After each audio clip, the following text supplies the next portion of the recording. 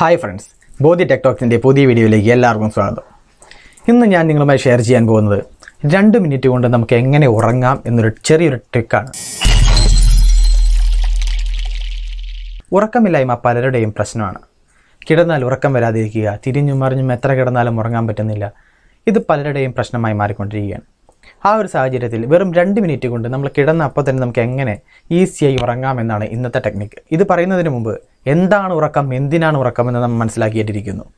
അതായത് നമ്മളൊരു കാര്യം ചെയ്തു കഴിഞ്ഞാൽ അതിന്റെ ഒരു പ്രോസസ്സിങ് ടൈം എടുക്കുമല്ലേ എന്ത് കാര്യം ചെയ്താലും അതിനൊരു പ്രോസസ്സിങ് ടൈം എടുക്കും.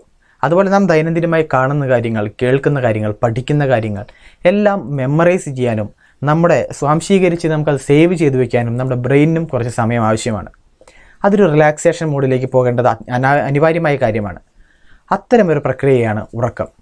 നമ്മുടെ ശരീരത്തിനും മനസ്സിനും എല്ലാത്തിനും ഒരു റിലാക്സേഷൻ മൂഡ് കൊടുക്കുന്ന ഒരു ചെറിയ ബയോളജിക്കൽ പ്രക്രിയയാണ് ഉറക്കം.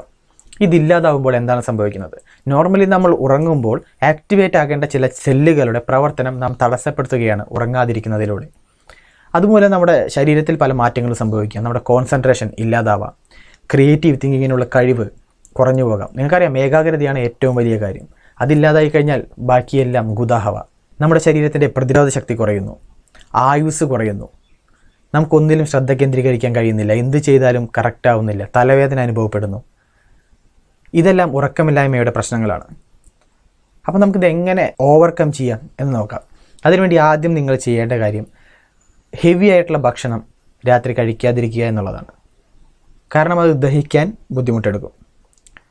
ഇത് ഞാൻ പറയുന്നത് ഉറങ്ങാൻ പറ്റാത്ത ആളുകൾക്ക് വേണ്ടിയിട്ടാണ്. അല്ലാതെ കിടക്കുമ്പോഴേക്ക് ഉറങ്ങി ഉറങ്ങിപ്പോകുന്ന ആൾക്കാർ കുറച്ച് ഭക്ഷണം കൂടുതൽ കഴിച്ചു വെച്ചാൽ പ്രശ്നം ഉണ്ടാവും എന്നല്ല പറയുന്നത് നോർമലി നമ്മളിത് പ്രക്രിയ എങ്ങനെയാണെന്ന് വെച്ചാൽ നമ്മൾ ഹെവി ആയിട്ടുള്ള ഭക്ഷണം കഴിച്ച് ഉടനെ തന്നെ കിടക്കരുത്.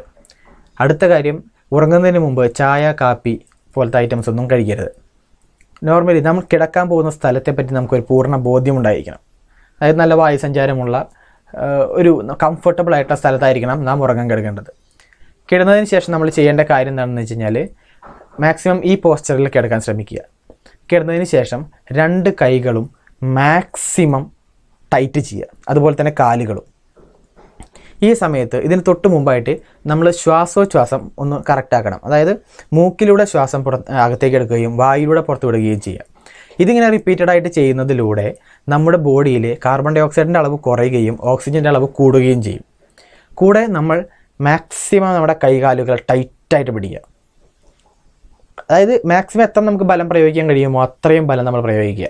എന്നിട്ട് വളരെ സാവധാനം റിലാക്സ് ചെയ്യുക.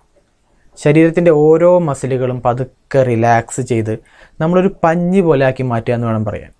ഈ സമയത്ത് നാം നമ്മുടെ മനസ്സിൽ പറഞ്ഞുകൊണ്ടിരിക്കണം എന്റെ അതായത് ഓരോ അവയവവും കൈകാലുകളായി കഴിഞ്ഞാലും ശരീരമായി കഴിഞ്ഞാലും ഒക്കെ റിലാക്സ് ചെയ്യുന്നതായി നാം ഫീൽ ചെയ്യണം. മനസ്സിന്റെ ഉള്ളിൽ നാം തന്നെ ഫീൽ ചെയ്തുകൊണ്ടിരിക്കണം. ഈ പ്രോസസ്സ് ഏകദേശം രണ്ട് മിനിറ്റ് പൂർത്തിയാകുന്നതിന് മുമ്പ് നിങ്ങൾ ഉറങ്ങിപ്പോയിരിക്കും. ഞാനിപ്പോൾ ഇത് നിങ്ങളോട് പറയുന്നതിന് മുൻപായിട്ട് കഴിഞ്ഞ മൂന്ന് നാല് ദിവസം ഞാൻ ട്രൈ ചെയ്ത് നോക്കിയിരുന്നു. പക്ക വർക്കിംഗ് ആയതുകൊണ്ടാണ് നിങ്ങളുമായിട്ട് ഷെയർ ചെയ്യുന്നത്. ഇതേ പ്രവൃത്തി ഏകദേശം ഇരുപത്തൊന്ന് ദിവസത്തോളം നമ്മൾ കണ്ടിന്യൂസ് ആയിട്ട് ചെയ്യുകയാണെന്നുണ്ടെങ്കിൽ അതൊരു ഏതൊരു വ്യക്തിയാണെങ്കിലും കണ്ടിന്യൂസ് ആയി ചെയ്യുന്നതാണെങ്കിൽ നോർമലി അയാളുടെ ഉറക്കത്തിന്റെ പ്രശ്നങ്ങളെല്ലാം മാറിക്കിട്ടും. ഈ ഇരുപത്തൊന്ന് ദിവസത്തിന് ഒരു പ്രത്യേകതയുണ്ട്. നമ്മൾ എന്ത് കാര്യം ചെയ്യുമ്പോഴും നമ്മുടെ ബ്രെയിനിൽ ഒരു ന്യൂറൽ ട്രാക്ക് ഉണ്ടാക്കാൻ എടുക്കുന്ന സമയമാണ് ഇരുപത്തൊന്ന് ദിവസം. നാം പറയാറുണ്ട് ഈ പല ലഹരിക്കടിമപ്പെട്ടവർ സിഗരറ്റ് വലിക്കുന്നവർ മദ്യപാനികൾ കഞ്ചാവ് വലിക്കുന്നവർ അങ്ങനെ പല രീതിയിൽ ലഹരിക്കടിമപ്പെട്ടവരുണ്ട്. ഇവരോടെല്ലാം നമ്മൾ ചോദിക്കുമ്പോൾ ഫസ്റ്റ് ഏതൊരു ന്യൂറോ സർജന്റെ അടുത്ത് പോയി കഴിഞ്ഞാലും അവർക്കറിയാൻ സാധിക്കും. കാരണം ഏതൊരു പ്രവൃത്തിയും ഇരുപത്തൊന്ന് ദിവസം നമ്മൾ കണ്ടിന്യൂസ് ആയി ചെയ്യുകയാണെന്നുണ്ടെങ്കിൽ ഓട്ടോമാറ്റിക്കലായിട്ട് ഒരു ന്യൂറൽ ട്രാക്ക് നമ്മുടെ ബ്രെയിനിൽ ഫോം ചെയ്യും.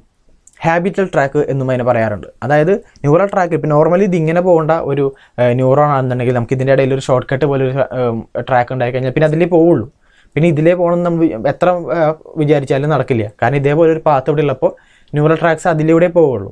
അതുകൊണ്ടാണ് ഒരു ഹാബിറ്റ് നിർത്താൻ കുറച്ച് ബുദ്ധിമുട്ട് വരുന്നത്. അപ്പോൾ അത് കൂടുതലായിട്ട് ഞാൻ വേറൊരു വീഡിയോയിൽ സംസാരിക്കുന്നുണ്ട്. ഇപ്പോൾ നമ്മൾ പറഞ്ഞുകൊണ്ടിരിക്കുന്ന കാര്യം ഉറക്കത്തിന്റെ അപ്പോൾ അങ്ങനെ ആ കണ്ടിന്യൂസ് ഇരുപത്തൊന്ന് ദിവസം നമ്മൾ ചെയ്യുകയാണെന്നുണ്ടെങ്കിൽ അതൊരു ഹാബിറ്റായിട്ട് മാറുകയും നമ്മുടെ ബോഡി ഓട്ടോമാറ്റിക്കലായിട്ട് ഒരു ന്യൂറൽ ട്രാക്ക് അവിടെ ഫോം ചെയ്തു ആ രീതിയിലേ പിന്നെ പ്രവർത്തിക്കുള്ളൂ. അങ്ങനെ ഉറക്കമില്ലായ്മ എന്ന് പറഞ്ഞ പ്രശ്നത്തിന് ഈസിയായി നമുക്ക് നേരിടാം. അപ്പോൾ ഇന്നത്തെ വീഡിയോ ഇത്രേ ഉള്ളൂ. നിങ്ങൾക്ക് എല്ലാവർക്കും വീഡിയോ ഇഷ്ടമായി എന്ന് വിചാരിക്കണം ഇതുപോലത്തെ പുതുത്തൻ അറിവുമായി ഞാൻ വീണ്ടും വരും. വീഡിയോ ഇഷ്ടമായ ലൈക്ക് ചെയ്യണം ഷെയർ ചെയ്യണം സബ്സ്ക്രൈബ് ചെയ്യണം ബെൽ ബട്ടൺ അടിക്കണം. പുതിയൊരു വിഷയമായി വീണ്ടും വരാമെന്ന പ്രതീക്ഷയോടെ സൈനിങ് ഓഫ് ബോധിഷ്.